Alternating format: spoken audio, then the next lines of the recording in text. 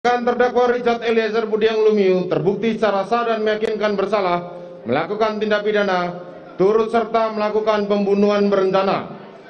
Menjatuhkan pidana terhadap terdakwa Richard Eliezer Budiang Lumiu dengan pidana penjara selama satu tahun dan enam bulan.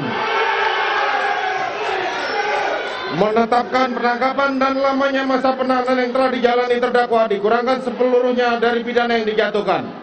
Menetapkan terdakwa tetap berada dalam tahanan menetapkan terdakwa sebagai saksi pelaku yang bekerja sama atau justice kolaborator. Menyatakan barang bukti adalah sebagaimana dalam surat tuntutan jaksa penuntut umum. Membebankan terdakwa untuk membayar biaya perkara sebesar Rp5.000. Demikianlah diputuskan dalam rapat permusyawaratan Majelis Hakim Pengadilan Negeri Jakarta Selatan pada hari Jumat tanggal 10 Februari tahun 2022 oleh kami Wahyu Iman Santoso selaku Hakim Ketua, Morgan Simanjuntak Sarjana Hukum dan Alimin Sarjono masing-masing sebagai Hakim Anggota.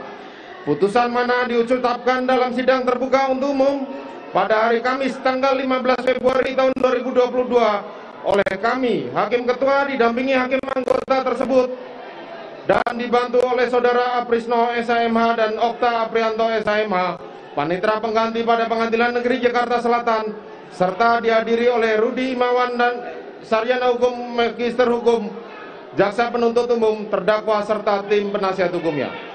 Silakan duduk. Kepada jaksa penuntut umum, kepada penasihat hukum maupun terdakwa, saudara mempunyai hak untuk melakukan upaya hukum maupun upaya hukum berupa banding atau menerima putusan ini atau pikir-pikir.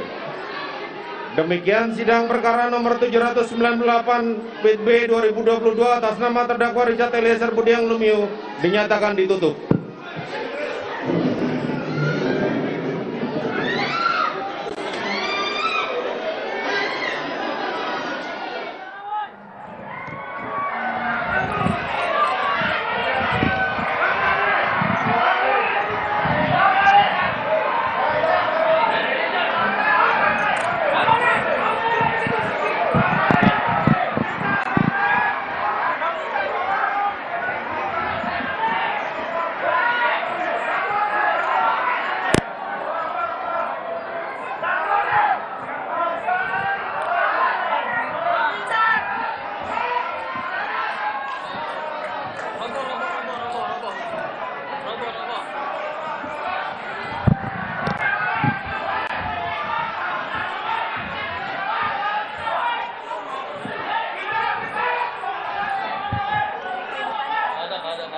Terima kasih sudah nonton.